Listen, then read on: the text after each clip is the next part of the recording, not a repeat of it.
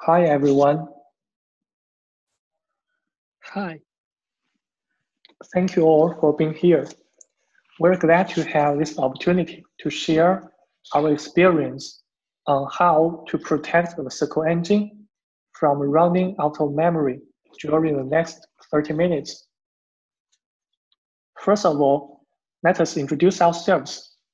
I'm Huaiyu Xu, an infrastructure engineer from PingCap. I'm responsible for the development of TiDB SQL engine. Meanwhile, I'm the technical lead of TiDB SIG execution and the committer of TiDB SIG planner. I'm Song Gao, an infrastructure engineer at PingCap. I'm responsible for the development of TiDB scheduling. I'm the maintainer of Chaos Mesh and the committer of the TiDB SIG scheduling. Okay, let's take a look at the agenda of this talk. There are four parts covered for this topic. The causes of SQL Engine OOM, the solution to this problem, the implementation in TiDB. TiDB is an open source distributed NoSQL database. For those who are not familiar with what TiDB is, we would have a brief introduction before we start the implementation part. And there will be time for questions at the end of this presentation. Song Gao will talk about part one and part two, and I will walk you through part three. So I will hand it over to Song Gao, who will introduce the cause of SQL Engine OOM and the solutions. Now, I'd like to look at when will SQL Engine OOM. We may encounter the SQL Engine OOM in following situations. For example, when the cache of statistics or the table metadata take, uh, takes up too much memory space, we may encounter an OM risk easily because of the lack of memory space for calculation. When a query executes a hash join and thus builds a large hash table, or when a query executes an in-memory sort on a large dataset, the OM may happen too. When the table scan reads data faster than the consumer operator upon it, the table scan may buffer too much data and thus cause the SQL engine OOM we can categorize those situations into two. One is when the memory space consumption of the memory resident object is too large. The other is when the memory space consumption during calculating is too large. Furthermore, we can divide the second situation into two parts, the pipeline breaker and the pipeline operators. We define pipeline breaker as an operator that, that produces the first output tuple only after all input tuples have been processed. Like hash join, sort, we define pipeline operator as an operator that just passes the data through. It only filters or aug augments, like table scan or index scan. So what can we do to protect the SQL engine from out of memory in those mentioned situations? To limit the memory consumption of the memory resident object, we can use an in-memory cache with limited size.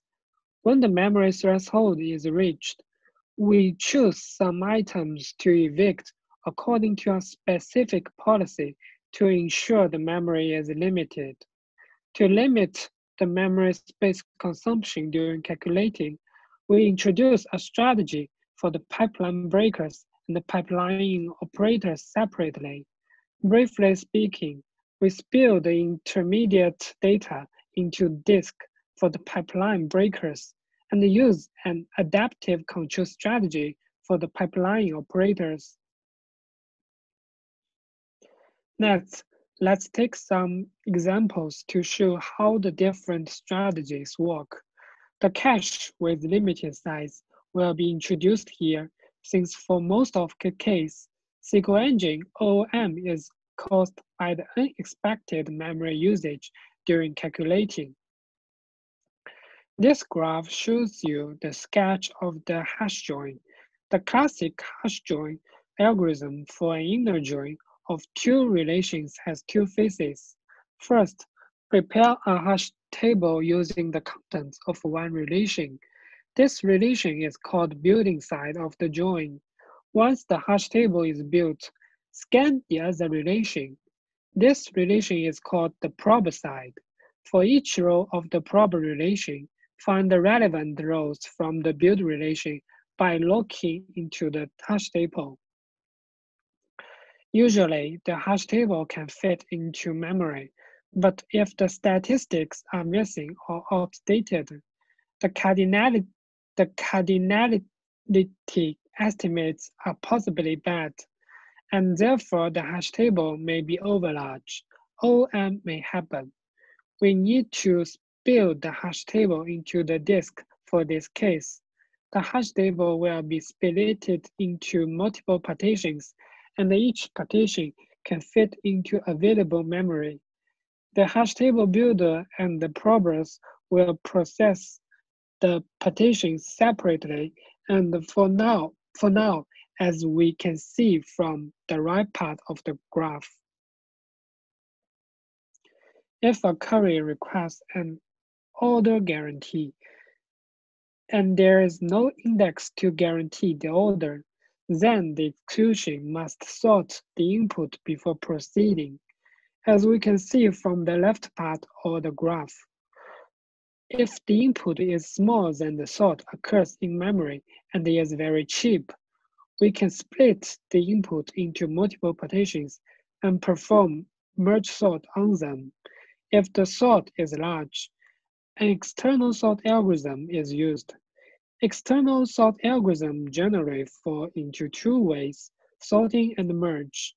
In the sorting phase, chunks of data small enough to fit in main memory are read, sorted, and written out to a temporary file. In the merge phase, the sorted subfiles are combined, and the final result will be outputted. Now let's focus on the pipeline operator cases. The SQL engine uses table scan or index scan to fetch data from the storage layer. The fetch process can be abstracted to the producer-consumer model. The producer fetches chunks of data from the storage and puts them into a queue. The consumer fetches the data from the queue and consumes it. For a table scan or an index scan, there will be multiple producers but only one consumer. Obviously, if the consumer is slower than the producers, a lot of data will be buffered in the queue. The OOM may happen because of it. To solve this problem, we need to control the rate of the producers. Each time the memory quota is exceeded, we can suspend all the producers until the buffer data in the queue has been consumed. Even if all data is consumed, producers keep creating data. In this situation, we could control producers' rate of creating data by removing one producer to prevent the quota from being exceeded again. From suspending all producers to removing a producer, this process continue until, continues until there's only one producer left. For now, we have discussed the causes of SQL Engine OOM and categorized those situations into two kinds. We also talk about situations to the solutions to the situations respectively. For the in-memory resident objects, we use a limit size cache for the in uh, we've used the limit size cache. For the pipeline breakers, we use the spill to disk strategy. And for the pipeline operators, we use the adaptive control strategy. Next, we will have Huaiyu introducing the implementation in TiDB. Okay, thanks Song Gao. I'd like to move on to introduction of how TiDB builds its memory management mechanism based on these solutions. First, a brief introduction to TiDB. TiDB is an open source distributed NewSQL database for hybrid transactional and analytical processing, which speaks MySQL protocol. The TiDB architecture design of separating computing from storage makes it possible to separately scale out or scale in the computing or storage cap capacity online as needed. The scaling process is transparent to application operations and maintenance staff. The data is stored in multiple replicas. Data replicas obtain the transaction log using the multi-Raft protocol. This can guarantee strong consistency and availability when a minority of replicas go down.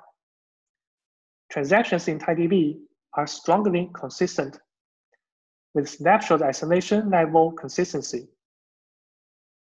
TiDB is compatible with the MySQL 5.7 protocol, common features of MySQL, and the MySQL ecosystem. To migrate applications to TiDB, we do not need to change a single line of code in many cases, or only need to modify a small amount of code. Now, let's deep dive into the implementation in TiDB. In TiDB, we introduce two interfaces called memtracker and OOM action.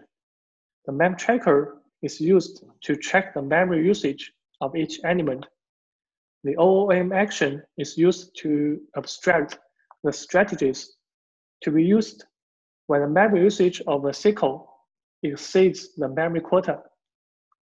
For example, we define the spare to disk strategy as disk spare action and define the adaptive control strategy as rate limit action. First, let's take a closer look at the effectiveness of the spare action and rate limit action in TiDB. This graph shows the effectiveness of the spare action. The dataset we use is the TPC-H with scale factor 50. We query all the data in the table put up and sort the result by a column without index. We can see from the left part of the graph that almost 8 gigabytes is used before we set the memory quota large enough. After the memory quota of a SQL is set to 1 gigabyte. As we can see from the right part of the graph, the spare action is triggered the memory usage of this SQL converges to almost one gigabyte. This graph shows the effectiveness of the rate limit action. The test case we use here is to dump almost 200 gigabyte data from TiDB before we set the memory quota to a limited value. OOM will happen when the TiDB process will be killed by the OOM OS OOM killer.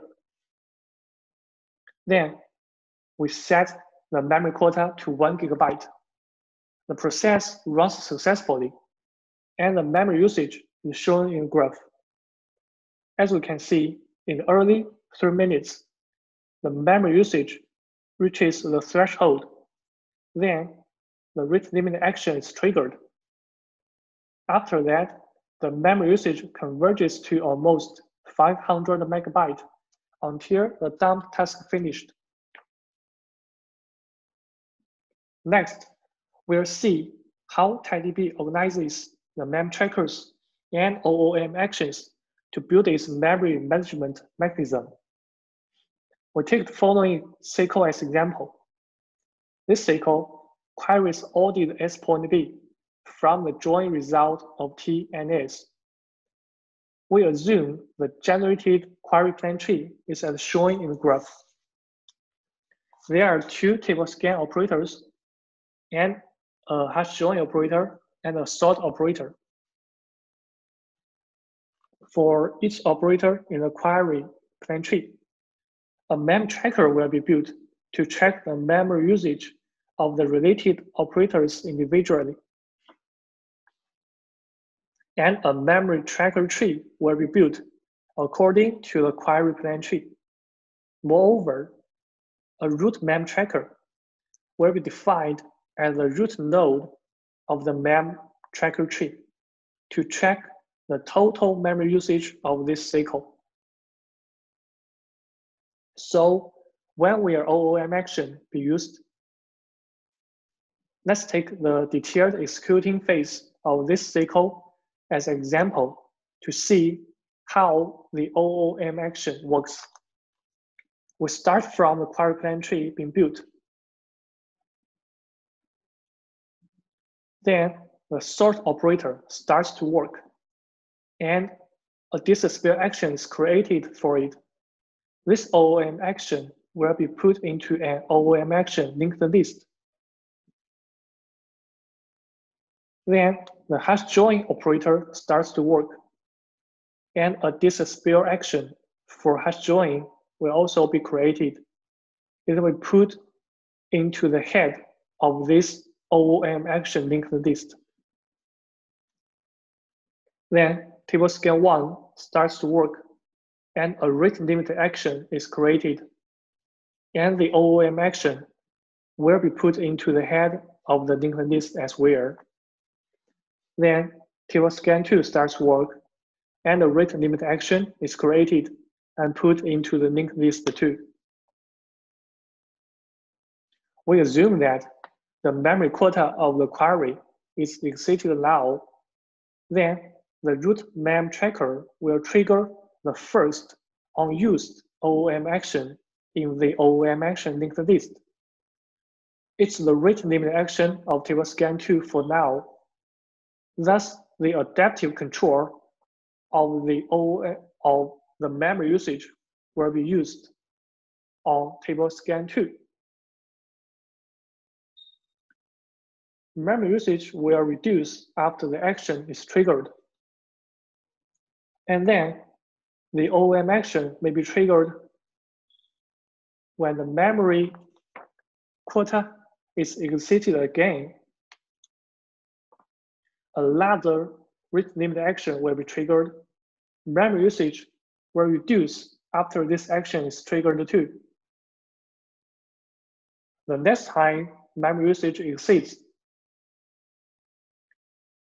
spare disappear action of hash join will be triggered and will spare the hash table into disk.